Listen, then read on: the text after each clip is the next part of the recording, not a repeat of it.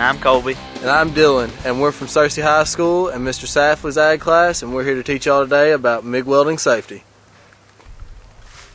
So the dangers of MIG welding um, could be anywhere from flash burns, from not having proper PPE or personal protection equipment on, um, could result in um, sparks from the welding process coming back onto the welder's hands, face, or body. And also the, the fumes given off to the welding process can also be harmful to the welder and create uh, welding fume fever and the various other lung issues.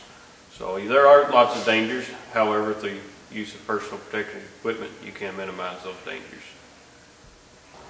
I think any welder that works in the welding industry or process is probably going to encounter a few minor incidents. Um, but I'm glad to say in our shop we've not had anything beyond a few minor burns, uh, maybe some sparks down some shirts or gloves or whatnot. But we, we follow safety here. Uh, it is first and foremost because we want to minimize those, those injuries from welding. these are safety glasses, always good to use in the shop.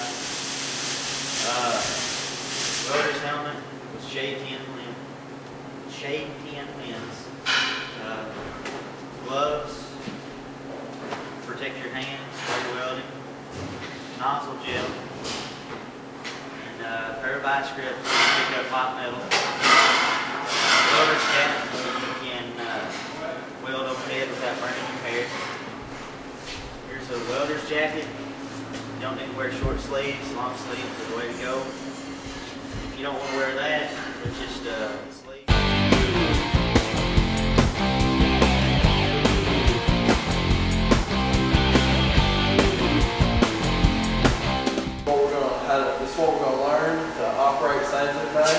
First thing you need to do is get check your leads for abrasions or anything that might could be an abrasion. Uh, you need to come over here and check the gas, make sure it's got pressure on it, and make sure that you open it all the way up. And you need to listen, see if you can hear any kind of leaks coming out of the, coming out of the gas tank. Next thing you need to do, come over here, grab your plug in, plug it in over here. Make sure it's in good and secure, that way nothing gets up in there gets fried or toasted.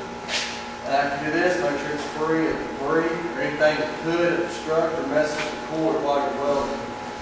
I'm gonna pull it to the ground here so nobody trips on it.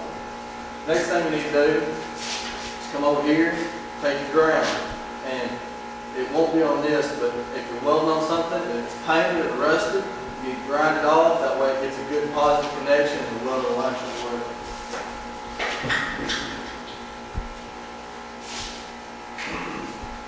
And this right here is your welding gun. The uh, filler metal will come out of come out of the machine through the hose and up here to what you're welding on. And in that case, this needs to be straight to prevent to prevent it from hanging up in the hose somehow. So you get all the slack out of it. The weld's don't need to be right upon you. Next thing we need to do, go over here, turn the power on. And you're ready to weld. That's pull down your weld motor.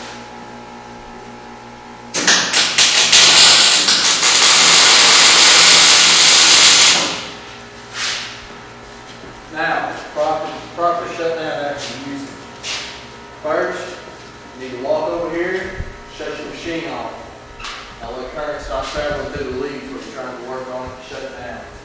Next, you come over here and turn the valve off, and turn it all the way to the right, or to the left, excuse me, as far as it'll go, until it's snugged up. And don't force them down, so it wouldn't bust the valve, pull it out, and you could have major explosion.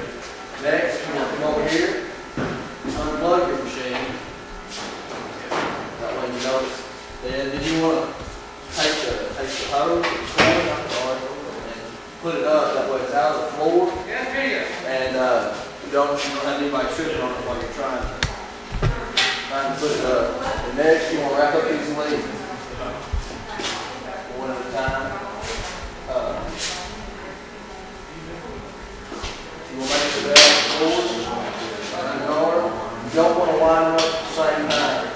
Because when you unline them, you could have that possibility of pulling something, something leave off on your toe or something.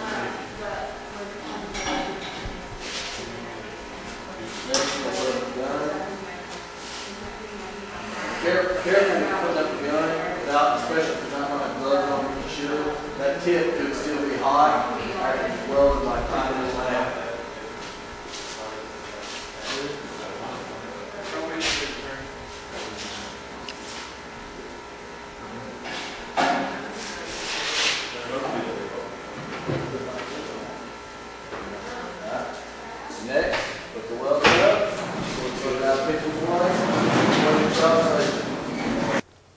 As you can see, proper safety and safety equipment is vital while MIG welding. I'm Dylan. I'm Colby. I'm Alexis. We hope our video has been very helpful.